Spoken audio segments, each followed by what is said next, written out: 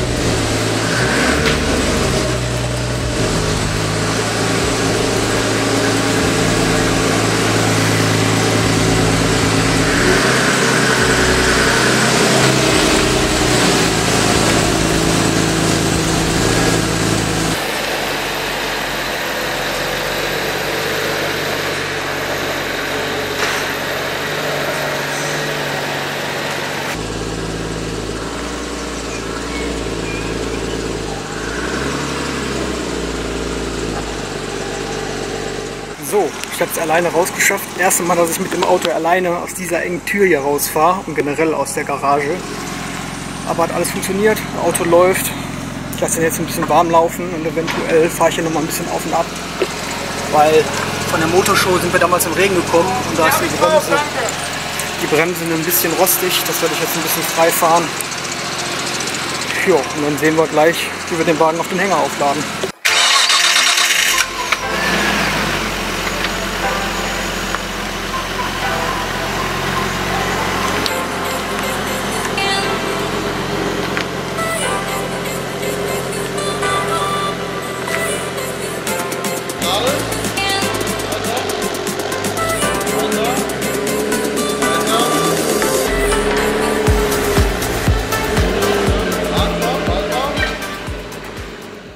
Wir sind angekommen bei TJ Imports.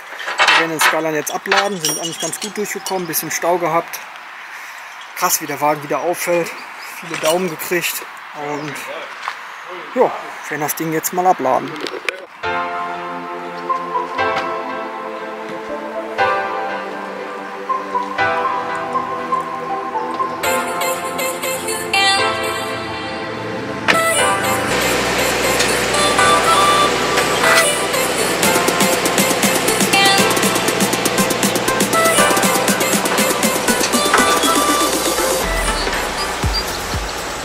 So, jetzt kommen wir zu dem Teil, weswegen ihr wahrscheinlich auf das Video geklickt habt. Und zwar, ja, haben wir den Wagen erstmal nach TJ gebracht. Das hat auch reibungslos funktioniert. Ich habe mich dann kurzerhand noch dazu entschlossen, mir noch ein paar Teile vor Ort zu kaufen. Das heißt, ich habe mir ein HKS äh, gekauft, ein äh, Ölcatch-Can. Ich habe mir einen Ölkühler bestellt. Ähm, zwecks, damit der Wagen später schneller als 180 km/h fahren kann und die Ölversorgung bzw. die Ölkühlung verbessert wird, weil naja, die Autos sind halt nur für den japanischen Verkehr ausgelegt und nicht für die Schnellfahrerei, ich sag mal, auf deutschen Straßen. Und da ich auch mit dem Auto gerne Rennstrecke fahren will, ähm, war das eigentlich ein, ein Muss. Ähm, des Weiteren habe ich mir einen HKS Luftfilter bestellt, diese klassischen Pilze. Und ja, dann war das so abgemacht, dass der Wagen für die Zulassung vorbereitet wird. Und das heißt, die Nebelschussleuchte muss noch verbaut werden. Es mussten halt das Auto generell einmal durchgecheckt werden. Und bei dem Durchchecken ist halt aufgefallen, dass der Zahnriemen nicht perfekt sitzt, das heißt, er immer nach hinten springt. Ähm, es ist dann rausgekommen, dass der Versteller nicht richtig äh, positioniert war oder eingestellt war, was jetzt auch nicht so das Problem ist. Das wurde dann nochmal geändert, weil ich hatte ja vorher einmal den Zahnriemen tauschen lassen mit Wasserpumpe und allem. Und ja, dabei ist dann aufgefallen, dass als das Teil getauscht wurde, ähm, das Problem immer noch bestand. Und dann hatten wir ein sehr komisches Gefühl. Daraufhin haben wir dann den Motor aufgemacht. Nochmal vielen Dank an den Schrauber, an den Chris von TJ. Er hat mich dazu theoretisch, ja nicht bequatscht, aber er hat mir auf jeden Fall gut eingeredet, dass ich den Schritt gehen soll, einmal den Motor zu öffnen. Und ja, was wir dann gefunden haben, war natürlich nicht schön. Ich blende euch mal die Szene ein.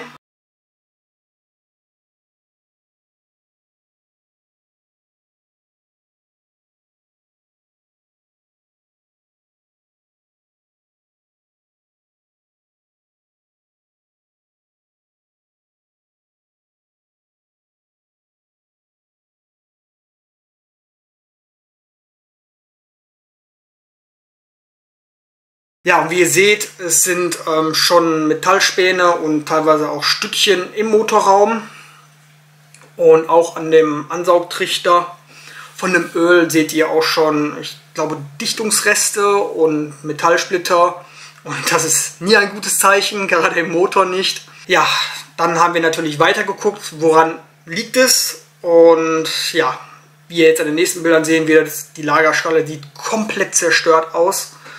Leider hat die Welle auch schon Späne gezogen. Ähm, das seht ihr auch an einem anderen Bild, ähm, was ich euch jetzt einblende.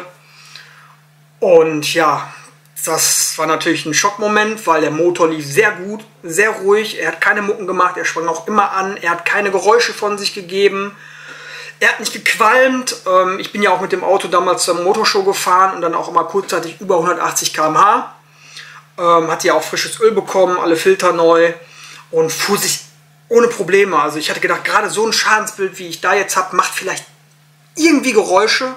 Aber ähm, ich habe jetzt auch von mehreren schon gehört, dass ähm, die eine ähnliche Schaden hatten bei anderen Autos und dass sich das auch nicht angekündigt hat.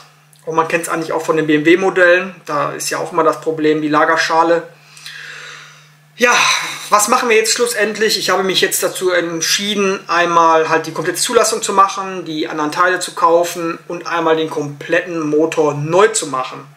Ich habe ja eine Liste schon bekommen, was wir machen werden. Ich lege euch das jetzt am besten einmal vor, weil es doch einiges ist. Und zwar werden wir einmal den kompletten Motor reinigen. Wir werden alles vermessen. Wie gesagt, die Kurbelbälle ähm, wurde schon vermessen, die ist Schrott. Da wird eine neue kommen. Wir werden den Motor einmal ruhen, einmal planen. Wir werden neue Kolbenringe verbauen. Wir werden die Ventilschaftsdichtung erneuern. Wir werden eine Metallkopfdichtung verbauen. Wir werden die Stehbolzen am Zylinderkopf erneuern. Die Haupt- und Pleuelagerschalen werden wir erneuern und das Ventilspiel einstellen. Natürlich komplett neues, frisches Öl. Das werde ich dann auf jeden Fall erstmal mit dem neu eingebauten, umgebauten Motor, wie man es nimmt, erstmal einfahren, dann nochmal einen Ölwechsel machen. Wir schon hört, das ist nicht sehr, sehr wenig Geld, worüber man spricht. Und ich musste da auch wirklich echt schlucken, bin ich ehrlich zu euch. Weil ich jetzt in letzter Zeit sehr, sehr viel Geld auch über die Jahre in den Skyline reingesteckt habe. Und ich eigentlich dachte, das Gröbste wäre jetzt mit der Zulassung jetzt zum Schluss. Aber dass so eine Nachricht kommt, so, das war, muss ich ehrlich zugeben, ein Schlag ins Gesicht. Und ja, das werden wir jetzt aber alles komplett durchziehen. Und dann hoffe ich, dass der Wagen vielleicht dieses Jahr dann noch läuft. Ich kann nicht versprechen, ob wir dieses Jahr mit dem Auto noch auf die Strecke gehen, weil ich möchte den Wagen natürlich erstmal in Ruhe bewegen, gucken, wie sich das Ganze einspielt, wie der Wagen sich verhält, ob vielleicht noch andere Sachen getauscht werden müssen.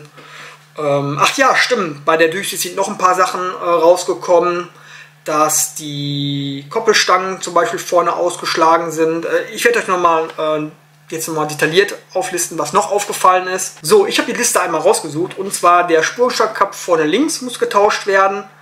Das Highcast ist auf beiden Seiten ausgeschlagen, das heißt, ich habe dann noch zusätzlich ein Deleted Kit bestellt, das heißt, die Hinterachse wird stillgelegt, also Hinterachse ist gut.